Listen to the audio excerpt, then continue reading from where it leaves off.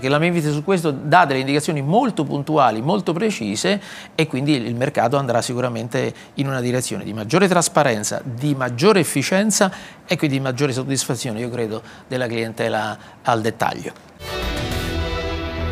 Oggi l'albo eh, è stato ridisegnato avendo tre sezioni, quella dei consulenti finanziari abilitati l'offerta fuori sede, gli ex promotori finanziari e altri due soggetti che a dire il vero ancora non sono né censiti né vigilati, che sono gli autonomi e le società di consulenza.